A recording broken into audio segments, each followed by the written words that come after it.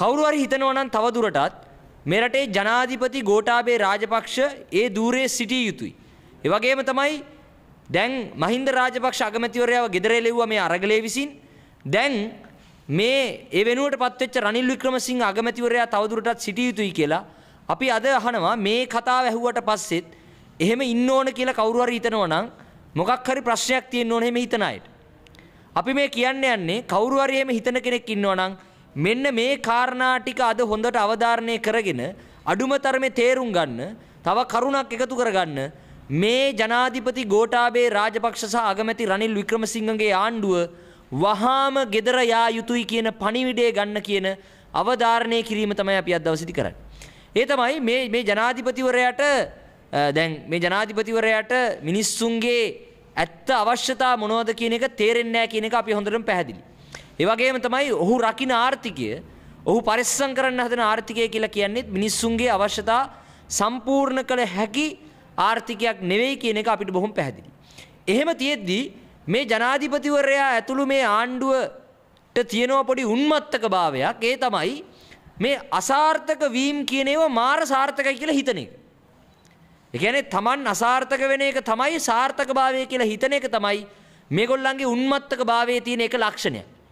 ඒකට එක හේතුවක් තමයි දැන් අපි දැක්කා මේ අගමැතිවරයා මහින්ද රාජපක්ෂ අගමැතිවරයාට ගෙදර යන්න සිද්ධ වුණා.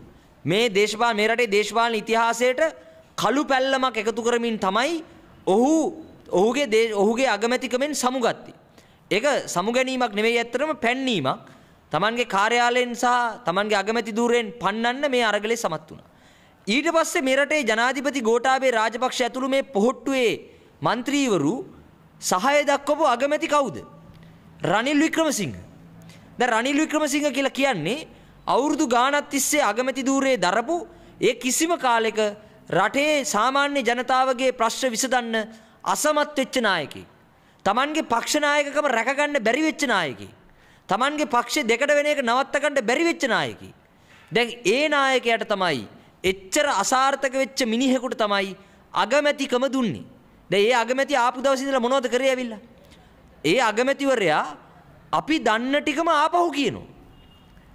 අපි කියන්නේ මේ අගමැතිලයි ජනාධිපතිලයි ගෙදර කොහරි ගමක නගරයක මිනිස්සුන්ගේ ගෙවල් ගානේ ගේ ඉස්සරහට ගියා නම් ඒ ගෙදරට බඩු ගේන අම්මා තාත්තා කියනවා මේ අර්බුදේ මීට වඩා හොඳට මේ තෙල් ප්‍රශ්නේ මෙහෙම එන්න નિયમિતයි කියලා මේ රටේ විද්වතුන් ගණනාවක් මීට කලින් අනතුරු ඇඟෙව්වා.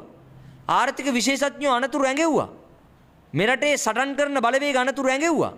පොහොර ප්‍රශ්න වෙලාවේදී ඒ පොහොර පොහොර සම්බන්ධයෙන් ගත්ත තීරණය එහෙම ගන්න එපා කියලා මේ රටේ ගොවියෝ පුන පුනා පුන පුනා කිව්වා. හැබැයි ඒක අහන්නේ නැතුව දැන් අගමැතිවරයා එයා නිකන් මෙතන විශේෂඥයෙක් වගේ අලුත් සොයා ගැනීම කරා වගේ පහුගිය කාලේ ප්‍රකාශ නිකුත් කර කර හිටියා. එක ඒක බයිලා කී කී හිටියා. පස්සේ බයිලා වලින් වැඩක් නැති තැන පාර්ලිමේන්තුව ඇතුලේ Tamanට විරුද්ධ වෙන අයට තර්ජනය කරන්න පව පටන් ගත්තා. මේක තමයි මේ අසාර්ථක ජනාධිපතිට එක්වෙච්ච අසාර්ථක අගමැතිගේ ක්‍රියාකලාපය. දැන් ගෙනල්ලා තිනවා පාර්ලිමේන්තුවේ ඒ තමයි ධම්මික පෙරේරා. ධම්මික පෙරේරා කියන කුප්‍රකට හොර ව්‍යාපාරිකයව දැන් පාර්ලිමේන්තු මන්ත්‍රීවරයෙක් ලෙස පත් කරලා තියෙනවා. කවුද මේ ධම්මික පෙරේරා කියලා කියන්නේ? ධම්මික පෙරේරා කියලා කියන්නේ මෙරටේ මෙරටේ ඉන්න ප්‍රසිද්ධ සුප්‍රසිද්ධ කුප්‍රකට ව්‍යාපාරිකයෙක් හැබැයි අපි නම් කියන්නේ හොරෙක්. ඒකට හේතු ගණනාවක් තියෙනවා. ඒ තමයි එකක් තමයි මේ ධම්මික පෙරේරා තමයි එක වෙලාවකදී පිට රටවල තියෙන කුණු කන්ටේනර් මේ රටට ගෙනල්ලා දාලා මේ රටේ කුණු ගොඩ ගහලා සල්ලි හම්බ කරන්න හදපු ධම්මික පෙරේරා. ඒ වගේම තමයි රතුපස්වලදී ධම්මික පෙරේරාගේ කම්පැනි එකකින් විස රසායනික ද්‍රව්‍ය එළියට දාලා තමයි ඒ ප්‍රදේශයේ වතුර විස උනේ. ඒ මරණ වලට වග කියන්න ඕන ධම්මික පෙරේරා තමයි අද පාර්ලිමේන්තු මන්ත්‍රී කෙනෙක් විදියට ඉන්නේ ආර්ථිකය ගොඩනගන්න ඇවිල්ලා. ආයෝජන ප්‍රවර්ධන හා තාක්ෂණ කියලා අලුත් අමාත්‍යාංශයක් පිහිටුවලා ඒ අමාත්‍යාංශේ බාර දෙන්න යන්නේ අමුම අමු හොරෙකුට. මේ ධම්මික පෙරේරා තමයි රුපියල් මිලියන 575ක් රජයට අයවිය යුතු බදු ගෙවලා නැති ධම්මික පෙරේරා. මේ ඒ ධම්මික පෙරේරා. ඉතින් අපි අහන්නේ දැන් අපි අහන්නේ මේ මේ මේක ඒ කියන්නේ මේ අසාර්ථක වීම. දැන් ධම්මික පෙරේරාගේ යෝජනා මොනවද තියෙන්නේ? ආර්ථිකයේ ගොඩනගන යෝජනා. දැන් වසර ගණනාවක් තිස්සේ යා කියමින් ඉන්නවා ආර්ථිකය ගොඩනගන්න යාගේ යෝජනා. ඒකේ තියෙන ප්‍රධාන එකක් තමයි අධ්‍යාපනය පෞද්ගලීකරණය කිරීම. අධ්‍යාපනය පෞද්ගලීකරණය කිරීම ධම්මික පෙරර කියනවා විසි පන්දහක් විතර අවුරුද්ධකට රට යනවලු විදෙස් අධ්‍යාපනය ලබන අපි හනෝ කොහෙද සංඛ්‍යාලයකන ගත්තේ. මොනවද තියෙන ඒවා ඔප්පු කරන්න තියෙන සාධක. අවුරුදු ගානක් මෙරටේ ජනාධිපතිවරු මේ සංඛ්‍යාලයකන කිව්වා එක් එක්කත් ඒවා ඔප්පු කරේ නැහැ. දැන් ආපහු මේ ආර්ථිකය ගොඩනගන්න ඩොලර් ගේන්න කියන විසඳුම තමයි මෙරටේ අධ්‍යාපනය විකුණන එක. මෙරටේ විශ්වවිද්‍යාල පද්ධතිය අවුරුදු දෙකමාරක් තිස්සේ වහලා ඒක ගැන කතා නොකර දැන් කියනවා මෙරටේ අධ්‍යාපනය විකුණන්න ඕනුණු ඩොලර් ගේන්න. ඒකට ණය සහන දෙන්න ඕනේ. දැන් අධ්‍යාපනය වෙනුවෙන් ණය දෙන එක අධ්‍යාපනය විකුණන එක ලෝකයේ අසමත් වෙච්ච ව්‍යාපාරය. අසමත් වෙච්ච ව්‍යාපෘති. දැන් ඔන්න ධම්මික පෙරර ආපහු ඇවිල්ලා කියන්නෙත් මේ ලෝකෙ පිළිගන්නේ නැති අධ්‍යාපන ණය ක්‍රමය වගේ එකක් ලෝකෙ දැන් පිළිගන්නෙත් නැහැ. ලෝකෙ අසාර්ථක වෙච්ච ව්‍යාපෘති ඒවා. දැන් මේ ජනාධිපති පත් කරපු අගමැති අසාර්ථක අගමැති කෙනෙක් අවුරුදු ගානක් තිස්සේ ඒක ඔප්පු කරපු කෙනෙක් දැන් ආර්ථිකය ගොඩනගන්න කියලා ආයෝජන ප්‍රවර්ධන හා තාක්ෂණය කියලා ගේන ඇමති ගේන්න හදන මිනිහා ලෝකේ පිළිගත්තේ නැති ඒ කියන්නේ ලෝකේ අසාර්ථක වෙච්ච ක්‍රමවලින් රටේ ආර්ථිකය හදන්න හදන මිනිහෙක්. ඊට පස්සේ කියනවා රාජ්‍ය අංශයයි පුද්ගලික අංශයයි සම්බන්ධ වෙලා රාජ්‍ය විශ්වවිද්‍යාලවල තොරතුරු තාක්ෂණය දියුණු කරන්න වැඩක් හදන්න. අධ්‍යාපනය විකුණන්න හදන්නේ. සෞඛ්‍ය අංශය පෞද්ගලීකරණය කරන්න කියලා කියනවා. ඒ කියන්නේ සෞඛ්‍ය අංශය ජාත්‍යන්තරයට විවෘත කරන්න කියලා කියන්නේ 아무තු එකක් නෙවෙයි. මේ තියෙන සෞඛ්‍ය අංශය පෞද්ගලීකරණය කිරීම. හරි. ඉතින් මේ හොර බිස්නස් කාරයෙකුට මේක බාර දුන්නම මීට වඩා දෙයක් බලාපොරොත්තු වෙන්න බෑ අර අර. මොකද මේ මේ නරියන්ට කුකුල් ගුඩුව බාර දුන්නා වගේ තමයි. මිනිස්සුන්ගේ අයිතීන් හොරා කාලා කොහොමද මේ වැඩේ කරන්න කියලා තමයි මෙයා කියන්නේ දැන්. ඊට පස්සේ කියනවා ආයෝජකයන්ට බදු සහන දෙන්න. අපි අහනවා තවත් මොනවද දෙන්නේ? මොන මගුලද තවත් දෙන්නේ? ආයෝජකයන්ට බදු සහන. ධම්මික පෙරරගේ කම්පැනි ටික පහුගිය කාලේ පාඩුල වල වහපු එකක් තියෙනවද? එකක්වත් නැහැ. ওই ව්‍යාපාරිකෝ කිසිම කෙනෙක්ගේ ආයතන එකක්වත් පාඩු ලබලා පහුගිය කාලේ වැහුවේ නැහැ කොරෝනා වසංගතියින්ද. ඒවා 100 100කින් 100 200කින් ලාභ වැඩි කරගත්තා. ඒක තමයි ඇත්තරම සිද්ධ වෙච්ච කතාව. එහෙනම් මේ මේ දැන් මේ ජනාධිපතිවරයාව පන්නන්න ඕනේ නැහැ කියලා කවුරු හරි හිතනෝ නම් මෙන්න මේ හේතුව හොඳටම ඇති මේ ජනාධිපති පන්නන්න ඕන කියන්නේ. ඒ තමයි අසාර්ථක වීම සාර්ථක ලෙස සාර්ථක වීම ලෙස දැකීම. පැරදිච්ච ජනමතයක් නැති අගමැති කෙනෙක් පත් කරගත්තා. ඒ අගමැති අර්බුදය ගැන කිය කිය දැන් හතර වටේ හිඟා කන්න පටන් ගෙන තියෙනවා. ඊට පස්සේ මේ රටට මේ රටේ මුදල් මිනිස්සුන්ගේ මුදල් රුපියල් මිලියන ගණන් හොරා කාපු ධම්මික පෙරරා වගේ අමු වංචාකාරයෙක් හොරෙක් කැසිනෝකාරයෙක් පාර්ලිමේන්තු මන්ත්‍රී කෙනෙක් හදලා කරලා මෙරටේ අධ්‍යාපනය විකුණන්න හදනවා සෞඛ්‍ය විකුණන්න හදනවා ව්‍යාපාරිකයන්ට ව්‍යාපාරිකයෝ කියලා අපි කියන්නේ මහා පරිමාණ බිලියන ට්‍රිලියනපතියන්ට තව බදු සහන දෙන්න හදනවා. මේවා තමයි IMF එකේ කොන්දේසියක පැත්තකින්. ඊට පස්සේ ලංකාවේ විදුලි බලයට දැන් මොකද්ද වෙන්නේ? දැන් මේ අසාර්ථක වීම අතරේ තව එකක්. දැන් විදුලි බල විදුලියට මොකද්ද වෙන්නේ යන්නේ? විදුලි බල විදුලි බල සංශෝධන පනත ගෙනාවා.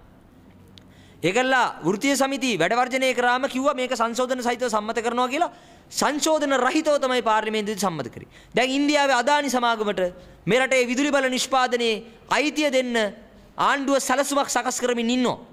විදුලි බල මණ්ඩලයේ සභාපතිවරයා ඒක කියද්දී ජනාධිපතිවරයා කියනවා මම එහෙම කිව්වේ නෑ කියලා අන්තිමට සභාපති ඒ ඉල්ලීම ඉල්ලාස් කරගන්නවා. මේක බරපතල තත්ත්වයක්. දැන් ලංකා IOC සමාගමට පෙට්‍රල් ෂෙඩ් ඩීසල් ෂෙඩ් වල මේ ෂෙඩ් වල අයිතිය ගත්තා විදුලි බල මණ්ඩලයට තෙල් ඕන කිව්වම IOC එක තෙල් දෙන්න බෑ කිව්වා. මේක තමයි ඇත්ත කතාව. IOC එක ශ්‍රී ලංකා khනිජ තෙල් නීතිගත සංස්ථාවේ තිබුණු මේ ඉන්ධන පිරවුම් මල් වල වැඩි හරියක් IOC එක ගත්තා. ලංකා ඉන්දියන් ඔයිල් සමාගම ගත්තා. මොකද උනේ අන්තිමට? දැන් පුළුවන් අපිට ඉන්දර නොදී ඉන්න එක ඉන්දර වල මිල වැඩි කරන කිසි එකක් පාලනය කරන්න පුළුවන්. අපිට පාලනය කරන්න බෑ. LNG බලාගාරය ලංකාවේ ප්‍රබලම බලශක්ති ප්‍රභවය බවට පත්වෙන නියමිතව තිබුණු 2030 අවුරුද්ද වෙද්දී දෙවෙනි ප්‍රබලම බලශක්ති ප්‍රභවය බවට පත්වෙන නියමිතව තිබුණු LNG බලාගාරය ඇමරිකාවට වික්කා. ඒ කියන්නේ මේ අසාර්ථක වීම සාර්ථකයි ලෙස ජනා දකින ජනාධිපති දැන් LNG බලාගාරයේ අයිතිය තියෙන ඇමරිකාවට දැන් ලංකාවේ විදුලිය ලබා දීම සම්බන්ධ අයිතිය දෙන්න යනවා ඉන්දියාවේ අදානි සමාගමට. ඇමරිකාවයි ඉන්දියාවයි ඉන්නේ එක ආර්ථික උපාය මාර්ගයක. දැන් ඊළඟට ඊළඟට ලංකා විදුලි බල මණ්ඩලය නෙවෙයි අපිට කරන්ට් එක තියනවද නැද්ද කියලා තීරණය කරන්නේ ලංකා විදුලි බල මණ්ඩලය නෙවෙයි. කවුද තීරණය කරන්නේ? එක පැත්තකින් ඇමරිකන් සමාගම තීරණය කරනවා අපිට කරන්ට් එක දෙනවද නැද්ද?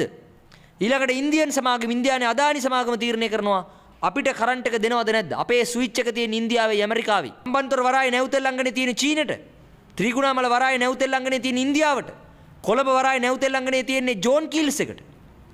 මේවා තමයි ඩොලර් එන ක්‍රම. ඒවා ඔක්කොම පැත්තක තියලා දැන් අර ලෝකෙත් පිළිගන්නේ නැති ලෝකේ අසාර්ථක වෙච්ච උපක්‍රම ගණනාවක් යෝජනා කරනවා ලංකාවේ ආර්ථිකය හදන්න.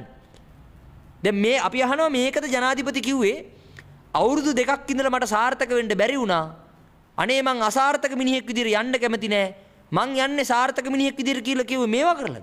ලංකාවට වැඩිම විදේශ විනිමය කියන විදේශීය ශ්‍රමිකයන්ගේ ගෙවල් වල තත්ත්වය මොකක්ද අද වෙද්දි? ඒ ඔක්කොම තියෙද්දි රජයත් එක්ක එකට එකතු වෙලා බිස්නස් කරපු මිනිස්සුන්ගේ බදු සල්ලි රුපියල් මිලියන 575ක් ගෙවීම පැහැර හැරලා තියෙන ධම්මික පෙරේරට පාර්ලිමේන්තුවේ අසුනක් හිමි වෙන්නේ කොහොමද? අපි අහනවා මේ පාර්ලිමේන්තුව තවදුරටත් ජනතාවගේ ඉල්ලීම් නියෝජනය කරන පාර්ලිමේන්තුවක් බවට පත් වෙනවද? මේ ව්‍යවස්ථාව තවදුරටත් ජනතාවගේ අභිලාෂයන් ඉෂ්ට කළ හැකි ව්‍යවස්ථාවක් නීතියක් බවට පත් වෙනවද කියලා අපි පුන පුනා පුන පුනා අහනවා.